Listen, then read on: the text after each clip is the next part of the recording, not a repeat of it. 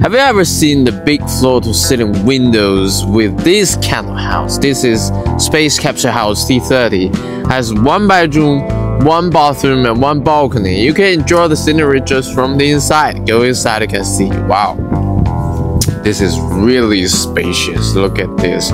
Big floor to ceiling windows. You can enjoy the scenery anytime. And here's the balcony. Just stand on this balcony. You can just relax here or sit here to drink some tea. So, do like this kind of house? If you like it, contact me.